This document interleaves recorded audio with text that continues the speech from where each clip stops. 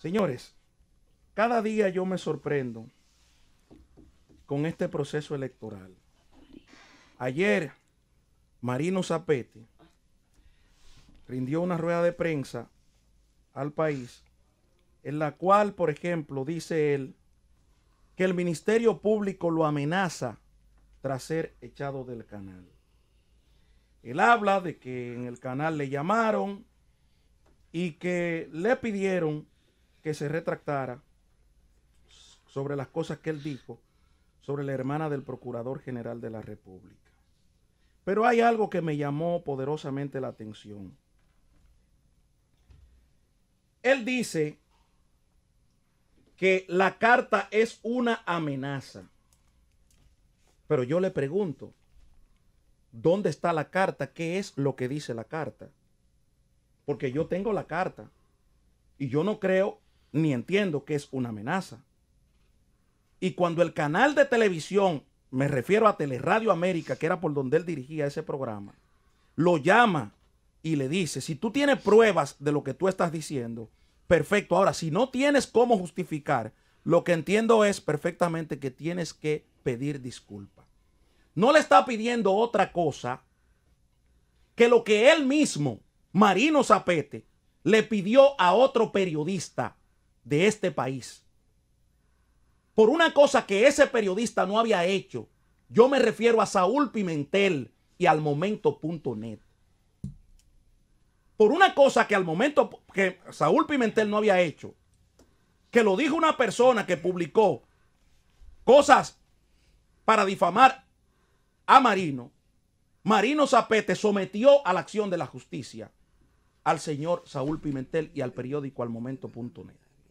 ¿Cuáles eran las pretensiones de Marino Zapete en la querella contra el momento.net y contra el periodista Saúl Pimentel? Yo pregunto. Y yo le pregunto al colegio de periodistas de este país que si la cobija, que si la sombrilla de la protección estuvo también al lado de Saúl Pimentel. Y le pregunto a Marino Zapete si no era presión, si él no ejercía presión en los tribunales de la República por la figura que es Marino Zapete en este país. ¿Qué es lo que dice la carta de la hermana del Procurador General de la República?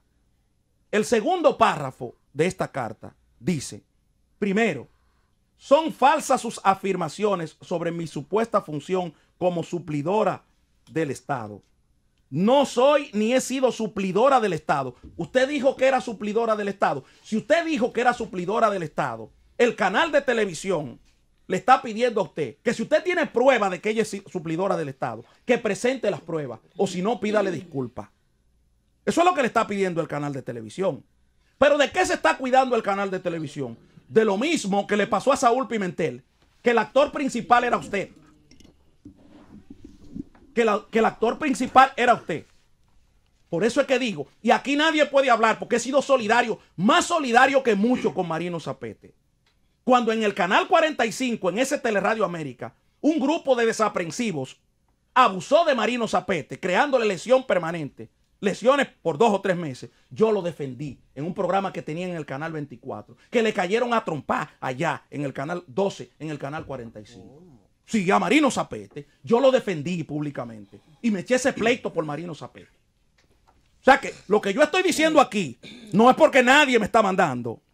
Yo estoy analizando un hecho para que ustedes sepan por el y qué, pretendía Marino Zapete contra un periódico de este país, uno de los periódicos digitales que más se lee, al momento.net. ¿Qué pretendía hacer? Que, que, le cerraran el periódico. Yo le pregunto que si no eran esas las pretensiones. ¿Y qué tuvo que hacer el 23 de mayo del año 2015 el señor Saúl Pimentel?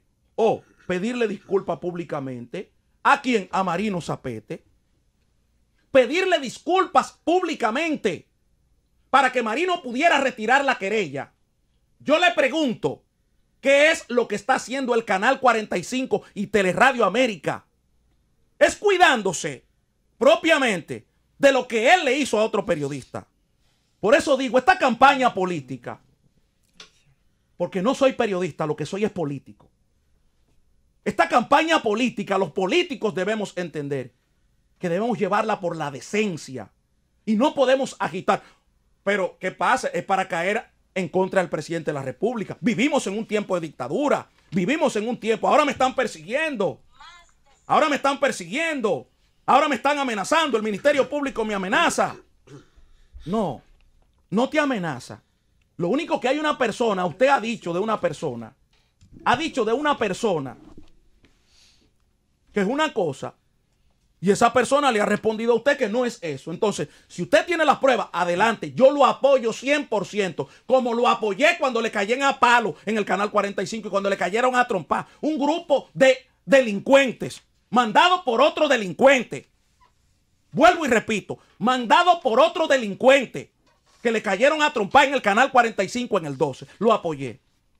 Si es verdad lo que usted está diciendo, me tiene al frente en este programa, en el mío y en todos los escenarios. Pero si usted está equivocado, si, si está equivocado, usted puede también pedir disculpas porque no, yo la pido, discúlpeme, yo me equivoqué, yo no tengo, ya, porque que yo sepa esa señora es abogada y el, que el cliente que me da un mandato a mí para que firme, yo firmo hasta en el cielo porque me está dando un mandato abogada de los tribunales de la República. Bueno, pero si vamos a sacar todos los contratos que firmen abogados apoderados, porque sean hermanos, porque sean primos, porque sean amigos, porque sean cuñados, porque sean sobrinos, porque sean tíos de funcionarios públicos, bueno, pues nos jodimos. Porque entonces el ejercicio del derecho se va a tener que limitar a la moral. Y yo no juego a la moral en política. Ni en el derecho tampoco. En el derecho se juega a lo que quiere el cliente. Si es en base al derecho administrativo y al derecho público, que es lo que estamos hablando. Yo creo que si es verdad lo que está diciendo el señor Marino Zapete, recibe mi respaldo total. Pero ¿qué hay de usted pedirle disculpas o, o retractarse de una situación? ¿Qué hay? Porque vuelvo y repito, el canal lo que se está cuidando es de lo que usted hizo en un momento que pidió, pidió en una, en una querella que se le pidiera disculpas y lo logró.